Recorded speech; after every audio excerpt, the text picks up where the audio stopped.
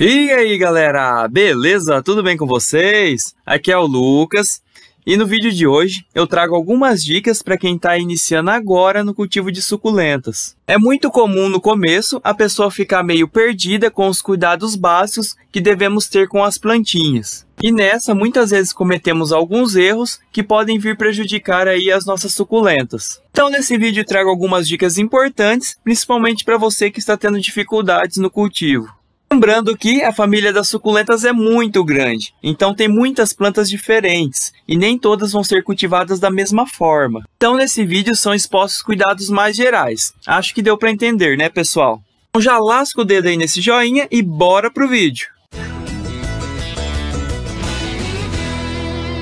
Bom galera, a primeira dica então que eu trago a vocês é a observação. Para mim esse é um cuidado fundamental para quem cultiva suculenta.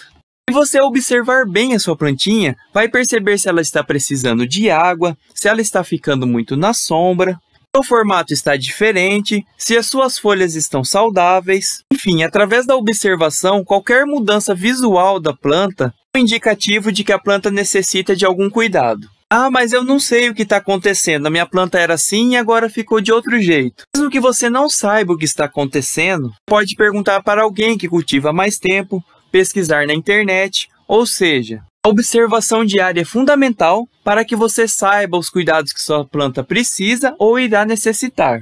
Outro aspecto fundamental para o cultivo de suculentas é a escolha de um ambiente adequado para a planta.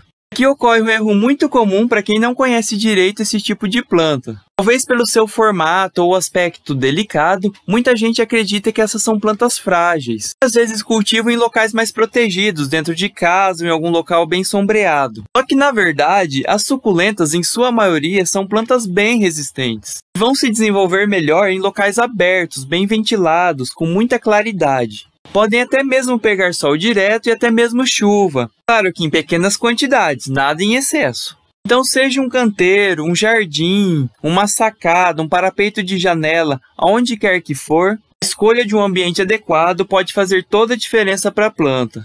E nesse sentido, uma outra dica que eu trago a vocês você saber identificar se sua plantinha gosta mais de sol ou de sombra. Geralmente eu uso uma regra bem simples. Se a tonalidade da planta for bem puxada para o verde, é bem provável que ela goste mais de sombra, enquanto que as mais coloridas vão se desenvolver melhor com uma boa exposição ao sol.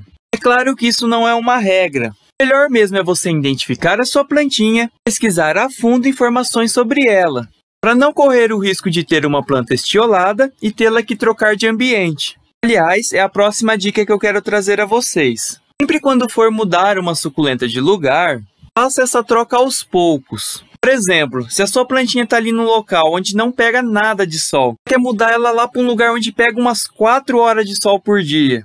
Essa então é uma mudança muito drástica para a planta.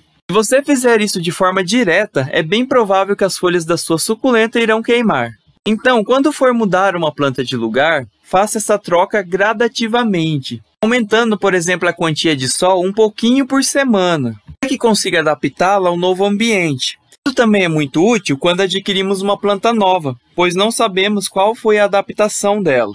E antes que eu me esqueça, uma coisa bem legal é você optar por fazer essa troca em dias nublados, dias de tempo fechado. Assim a planta irá sentir ainda menos essa troca de ambiente. E aproveitando então o gancho aí, falando sobre exposição ao sol, é, uma grande parte das suculentas, é, elas toleram sol direto. Umas duas a três horas de sol por dia já é suficiente. E de preferência seja o sol da manhã ou do fim da tarde. Se tiver a opção da utilização de um sombrite, né, uma luz solar filtrada, então a planta vai tolerar uma quantidade maior de exposição por dia. Mas é claro, como foi dito antes, isso varia de espécie para espécie, então não são todas as suculentas que vão gostar de um solzinho. Agora, uma das principais causas de perda de suculentas está intrinsecamente relacionado à rega. E a questão é, qual a frequência de rega que deveremos ter? Qual a quantidade de água a colocar nos vasinhos? Essas são dúvidas muito frequentes aqui no canal. O problema é que não existe uma tabela. É impossível determinar uma frequência de rega. Isso vai depender muito do clima, estação do ano, do local ou recipiente onde a sua planta está plantada. Algumas espécies toleram uma quantia maior ou menor de água. Alguns substratos secam mais rápidos do que outros. Enfim, não é nada fácil determinar uma frequência de rega. Mas, de uma maneira geral, a maioria das suculentas não são muito chegadas em água. O que eu faço geralmente é esperar o substrato secar bem entre uma rega e outra. Como eu disse no começo do vídeo, lembre sempre de observar a sua planta. Folhas amarelas e molengas é resultado de água em excesso, enquanto que folhas murchas, enrugadas e bem fechadinhas é um sinal da falta de água. Agora, em relação à quantidade de água, isso também pode variar em relação à estação do ano e à espécie da planta. Uma maneira geral, as suculentas passam por um período de dormência, geralmente no outono e inverno, e por um período de crescimento, onde elas estarão mais ativas, normalmente na primavera e verão. O que ocorre então é que nos meses mais frios a rega deve ser bem reduzida, devendo então utilizar pouca água só para manter um pouco de umidade no solo enquanto que nos meses mais quentes a régua deve ser mais abundante. Você pode molhar bem o solo até escorrer por debaixo do vaso. Mas é claro, aqui no Brasil não temos um clima muito bem definido. Como exemplo, aqui no inverno é muito seco e às vezes até chega a fazer um calorzinho. Se o clima estiver quente e seco, é claro que eu vou colocar um pouco mais de água. Do contrário, se estiver frio e úmido, eu suspendo então essa rega. Aproveitando então essa questão da água, muitas suculentas devido ao seu formato acumula um pouco de água entre as suas folhas. Geralmente, se essa planta fica em um local onde essa água evapora com facilidade, você não terá problemas. Agora, se essa água fica ali empoçada por muito tempo, ser que eventualmente possa vir a prejudicar a sua planta com alguma queimadura na folha quando o sol aparece ou com algum tipo de podridão. Como dito aqui, uma das principais causas de perdas suculentas é o solo que fica encharcado por muito tempo isso, a escolha do substrato pode ser fundamental para um bom desenvolvimento de sua planta. É importante que esse substrato seja bem poroso, airado e que drene bem rápido a água, ou seja, que seque com facilidade, não fique por muito tempo molhado. Esse substrato também é interessante a utilização de algum tipo de fertilizante, esterco de frango, humus de minhoca, entre outros. Uma dica bem legal aqui é de tempos em tempos você replantar a sua planta, trocar esse substrato para que renove então os nutrientes para sua suculenta.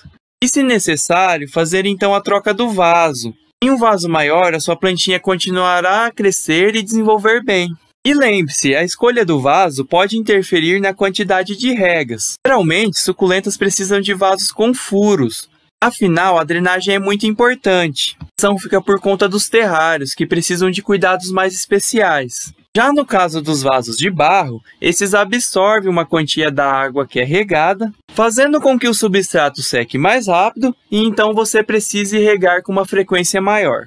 E por fim, e não menos importante, a dica que eu trago a vocês é de manter os seus vasinhos limpos, sem a presença de pragas, matinhos, sujeiras, etc. Como também sempre cuidar do visual da sua suculenta, removendo as folhas secas, pragas e demais invasores indesejáveis. Assim, a sua planta ficará feliz em desenvolver em um ambiente limpo e de forma saudável. Mas é isso aí, galera. Espero que vocês tenham gostado do vídeo e realmente essas dicas aí possam ajudar quem está começando agora e tem muitas dúvidas sobre o cultivo de suculentas. Claro que aqui foi feito um apanhado bem geral do cultivo.